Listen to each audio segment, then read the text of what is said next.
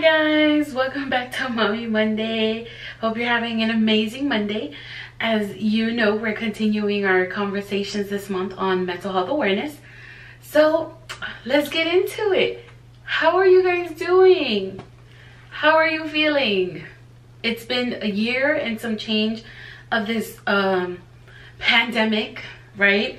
And some people are ready to put it behind us and some people are no we're not ready to put it behind us. We're still trucking we're still going at it. It's still not over right? How are you guys doing with everything? Um in this day and age and everything that everybody has been going through and the pandemic recessions parenting mothering uh you know all the issues that are happening um in life how are you really coping it's really key when it comes to your mental health and to the mental health of those around you and to your friends, to your family, to your loved ones to really, really, really check in and not just be like, hey, how are you? Or, yeah, oh, okay, good, you're good. Okay, good, I'll talk to you later. Sometimes it rolls so casually out of the tip of our tongues. Oh, okay. Or we're talking to a stranger um you know and she's like oh hi how are you? And then you just keep walking. You don't even slow down to hear.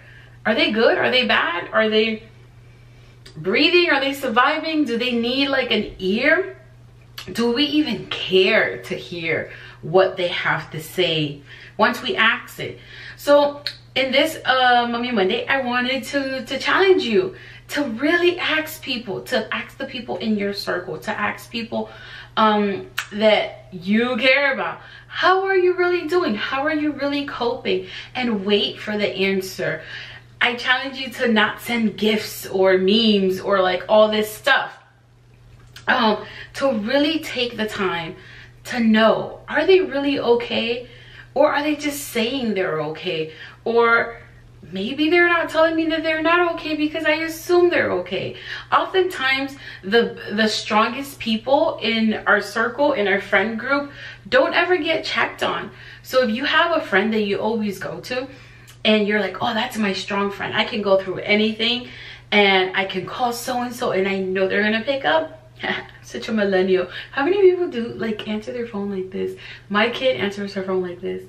Like hello. Okay either way i digress i digress so you know oftentimes the the strongest people in your life are the ones that don't get checked on nobody really stops to find out how are you doing how can i you know be of service to you how are you really coping with all the load that people uh, throw on you often in therapy the people that i do therapy with come to me, a professional, a stranger, because everybody in their circle assumes that they're okay.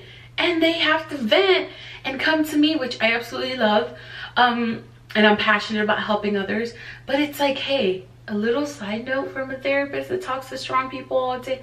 Check up on your strong friends they are not okay. They need an encouragement. They need just a checkup. More than just a meme or a gift or a text or assuming that just because they seem that they have it together that they do.